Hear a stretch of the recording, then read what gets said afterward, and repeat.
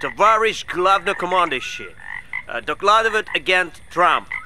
Вы обещали приехать для м, урегулирования каких-то моментов в штате 21 октября. Вас ждать? Эм, ты знаешь, Дональд, эм, нет, не могу, в субботу не могу.